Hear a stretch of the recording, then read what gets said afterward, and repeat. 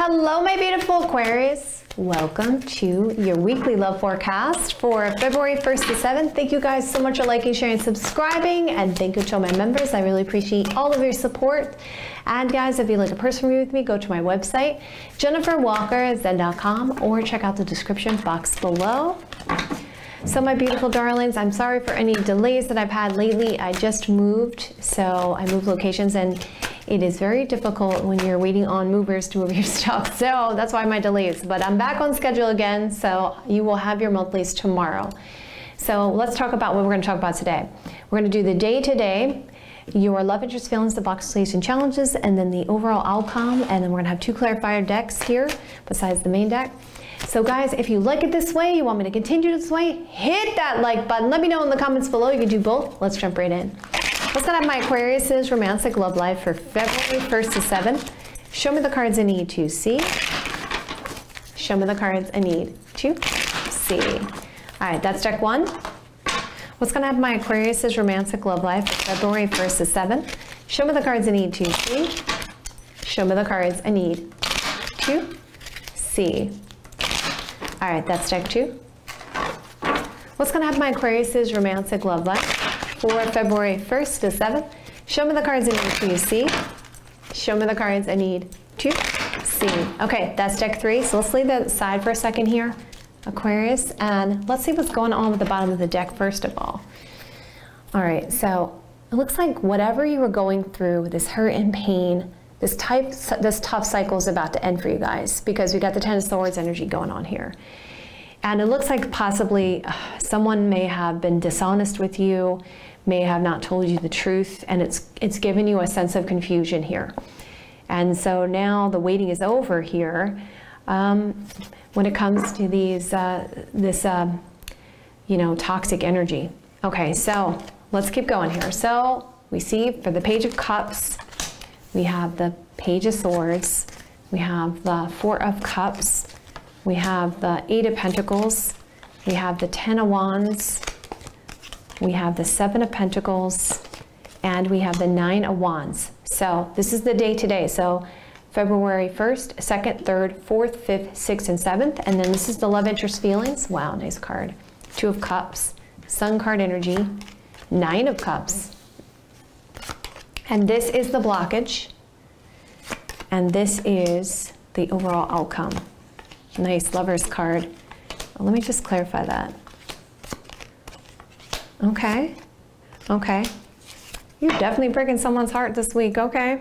All right. Um, so we can see the blockage being the Six of Cups. And by the way, guys, you can check your moon, your rising, and your sun sign for more information because your sun sign represents your soul, your moon sign represents your emotions, and your rising sign represents your physical you. And all three of those make up who you are, so you can feel free to cross watch. So someone from the past, memories of the past, is coming up as the blockage here, so that's interesting. Healing from the past, possibly for some of you, because six talks about healing, recovery, and love. So it looks like on February 1st, there's a message coming in for you guys, and it's a love message. It's good news. And we see that uh, February 2nd, it looks like you guys are going to look at things from a whole new perspective in your situation you may have a sense that somebody is coming in a little bit immature with the Page of Swords energy, or you're just having a new sense of new ideas and new perspectives about your romantic love life. I feel like um, there is concern about missing an opportunity here with the Four of Cups energy, or there's uncertainty of whether or not you want to take this love offer, because if I mirror that, the cup coming from here with the Page of Cups energy, Cancer, Scorpio, Pisces energy, Gemini, Libra, Aquarius energy. Let me see if there's any other signs here yeah, so there's this good news in love, but it's like you're kind of feeling like this person's kind of a little bit different from your usual type and expectations. Or for some of you, they may be a little bit younger or immature in, in their acting. And so you're kind of like, do I really want this situation? Okay. So we see dog card energy, stork card energy, and snake card energy. Yeah. There is a, a person that's being very friendly and there's improvements happening, but on the same token, you're kind of like, mm, do I really desire this? You know, that's snake card energy. where there's a sense of a lack of flexibility or some challenges around it that you're kind of thinking about. And you're like, do I really want to put the work or effort? Does this really fulfill my desires here? Yep, here we go. You're going to receive communication. So they're going to reach out and communicate with you. There's improvements here, and it does make you happy with the Ten of Cups energy, but you're kind of like questioning, like, is this really the best decision for me? You know, am I going to make the best decision for me when it comes to my past experience in dealing with the people that I've dealt with before? so we have the Eight of Pentacles energy. For some of you on the fourth, you may be really work focused or school focused here, or just focused on other things. Or the Eight of Pentacles could be saying for some of you, I really want to put the work or effort into this situation when it comes to this opportunity. So for some of you, by the fourth, you're kind of like, okay, maybe, maybe I could put the work or effort into this opportunity. But I'm concerned that, you know, I don't know if they're being deceptive or something seems dishonest or something seems off about the situation. So we see by the fifth, you guys are kind of like, all right, this is kind of weighing heavy on me. I have responsibilities, I have things I have to deal with here, and I'm ready to have a completion around this. And you're, you're stressing a bit here on the 5th about this opportunity. So it seems to me like you've decided to go, go with it, but then on the same token, you keep questioning yourself, is it going to be the best opportunity? And it kind of weighs heavy in your mind about it. So, but then by the 6th, you're like, all right, you know what? I'm going to invest time in this connection. I'm going to give it some time and see how things play out here because of emotion. Some of you are questioning the connection because you're concerned that money and finance could be part of the reason why. For some of you because eight of pentacles maybe some of you are concerned that this person may be trying to use you for money okay? Or others of you are concerned because you may work or go to school with this person. And for others of you you're kind of like how do i feel about this emotionally? And you know for some of you you're still dealing with issues from the past because we see the reconciliation card. Now, this person could be somebody you've already known before with the reconciliation card. But I feel like for most of you, it's not. It's it's a, just a defensive energy because of the fact that you're still healing from issues that you've dealt with before in the past. So we see that the defensive energy is coming up, and we also see, remember, the blockage is the Six of Cups. So someone from the past is part of the blockage. And I feel like for most of you, this is a new situation, okay? And uh, I feel like you're kind of like, I don't know about this opportunity because of what I've dealt with before, because we see reconciliation, not certain about dishonesty and feeling completely happy with it. But some of you, this could be somebody you've dealt before. So we see defensive energy in this commitment.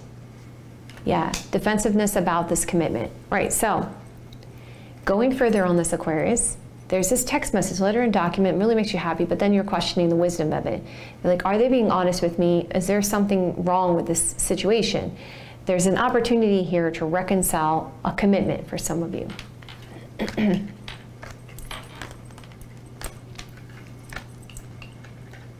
okay. Okay, Loyalty, friendliness, and some changes, but lack of flexibility or strong desires for and opportunities causing stress. There's a lot of emotions in this commitment or money commitment or uh, a, a lot of movement in this commitment.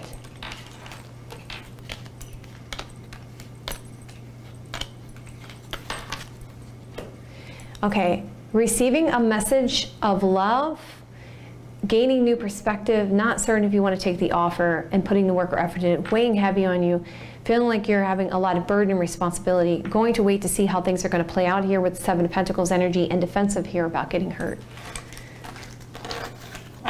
Okay, so let's take a look at your love interest feelings. Okay, they obviously want a relationship with you. You really make them happy and you're everything that they desire with the Nine of Cups energy the clouds card energy, the coffin card energy. So they want to end the confusion here and they want a decision from you.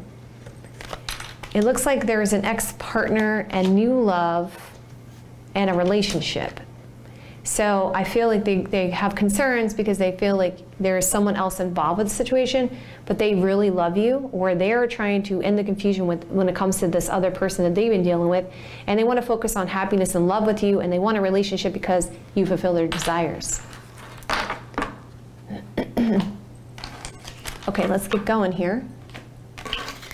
Let's get drill down a little bit further on this situation pertaining to the past. We got the Six of Cups energy.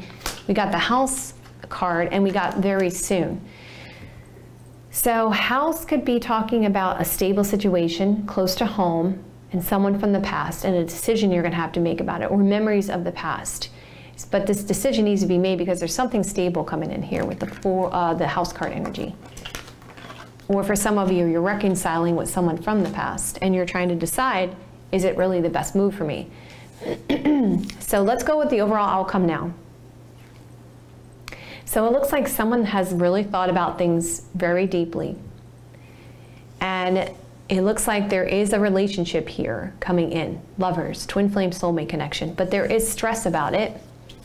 And if I looked up what the stress was, I clarified what the stress was.